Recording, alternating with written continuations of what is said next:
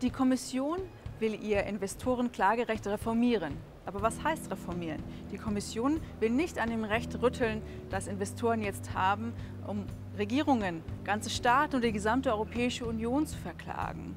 Diese Paralleljustiz für große Unternehmen wird nicht angetastet. Und deswegen lehnen wir nach wie vor ISDS ab. Kleinere Förmchen bringen uns da nicht weiter.